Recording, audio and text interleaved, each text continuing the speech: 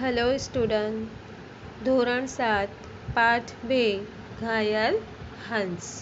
દયાળુ ભગવાન બુદ્ધના બાળપણનું એક પ્રસંગ છે, જેના દ્વારા આપણને દયા, પ્રેમ જેવી ભાવનાનો વિકાસ કરવાની પ્રેરણા મળે છે. બીજા પર કેવી રીતે આપણે દયા અને પ્રેમ રાખવું જોઈએ, એની પ્રેરણા આપણને મળે છે. મારી શક્તિનો પરિચય કરવા કરતાં કોઈનું જીવન બચાવવા શક્તિનો પરિચય કરવો જોઈએ. બગીચો, બે રાજકુમાર, ભગવાન બુદ્ધનું, બાળપણનું નામ સિદ્ધાર્થ, તેમના પિતાનું નામ શુદ્ધોધન હતું.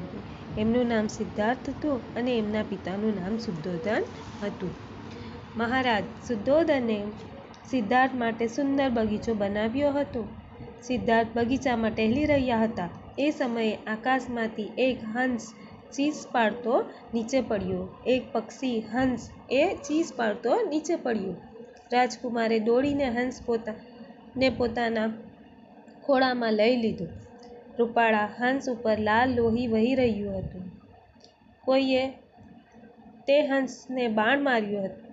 તે બાણ અત્યારે પણ હંસના શરીરમાં ઘૂસી ગયેલું હતું. જુઓ એક હંસ જેને બાણ તીર માર્યું હતું અને એ રાજકુમારના પાસે છે. જો ફોટામાં તમે જોઈ શકો છો કે કેવી રીતે હંસને તીર માર્યું છે અને એને લોહી નીકળે છે. તેણે હંસના શરીરમાંથી બાણ ખેંચી કાઢ્યું. હંસની પીડાને જોઈ રાજકુમારની આંખોમાંથી ટપ ટપ આંસુ પડવા લાગ્યા. તેને થયું કે આ નિર્દોષ પક્ષી પર નિર્દયતાથી કોણે બાણ માર્યું હશે? રાજકુમાર વિચારવા લાગ્યા કે આ નિર્દોષ પક્ષી છે. એને કોણે બાન માર્યું હશે? કુમાર સિદ્ધાર્થ હંસનો ઘા જોયો.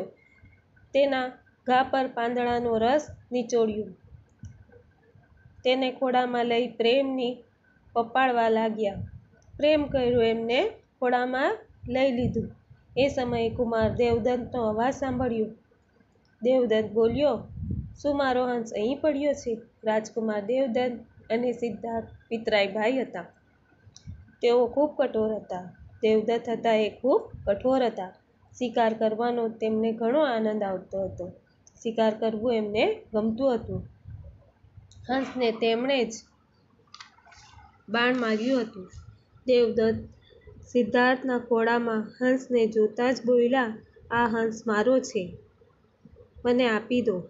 રાજકુમારે કહ્યું, શું તમે આનો પાળિયો પોસ્યો છે? દેવદત્તે કહ્યું, મેં તેણે બાણ માર્યું છે. જુઓ, પેલું પડ્યું તે મારું બાણ છે. મેં બાણ માર્યું છે એટલે એ મને આપી દો, એ પક્ષીને મને આપી દો. સિદ્ધાર્થે કહ્યું, શું તમે આને બાણ માર્યું છે? બિચારા નિર્દોષ પક્ષીને તમે શા માટે માર્યું? એ અબોલ જીવને કેટલી પીડા થાય છે. અબોલ એટલે બોલી શકતો નથી. એને કેટલી પીડા થાય છે? હું આ હંસ તમને નહીં આપું. પશુ પંખી માનવ પ્રત્યે દયા રાખવી, તે આપણો ધર્મ છે. આપણને પશુ પંખી ઉપર દયા રાખવી જોઈએ. એ આપણો ધર્મ કહેવાય. આ વાત સાંભળી દેવદત્ત ઝઘડો કરવા લાગ્યા. આ વાત મહારાજ શુદ્ધોધન પાસે પહોંચી, મહારાજે બંને રાજકુમારોનું કહેવું સાંભળ્યું. પછી તેમણે દેવદત્તને પૂછ્યું, તું એ હંસને મારી શકે છે? તો દેવદત્ત, પછી તું તેને જીવતો કરી દઈશ? તું એને મારી શકે છે? તો એ તું એને પાછો જીવતો કર. મહારાજે દેવદત્તને પૂછ્યું.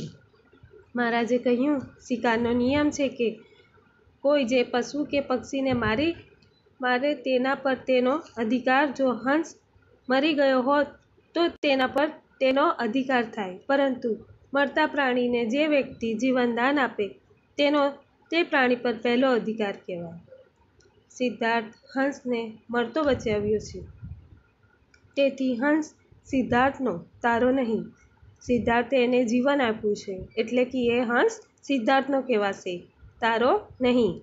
મહારાજે નિર્ણય લીધો. કુમાર સિદ્ધાર્થ હંસને લઈ ગયા. જ્યારે હંસનો ઘા રૂઝાઈ ગયો, ત્યારે તેમણે હંસને ઉડાડી મૂક્યો. જ્યારે હંસ સારું થઈ ગયું, ત્યારે હંસને ઉડાડી મૂક્યો. મારનાર કરતાં બચાવનાર મહાન હોય છે. આ રીતે સિદ્ધાર્થે હંસનો જીવ બચાવ્યો. આગળનું જે સ્વાધ્યાય છે, એના ફોટા મેં અસાઇનમેન્ટમાં મૂકી દેવા. એ તમારે ગુજરાતીની નોટબુકમાં ઘરેથી લખવાનું છે. Thank you.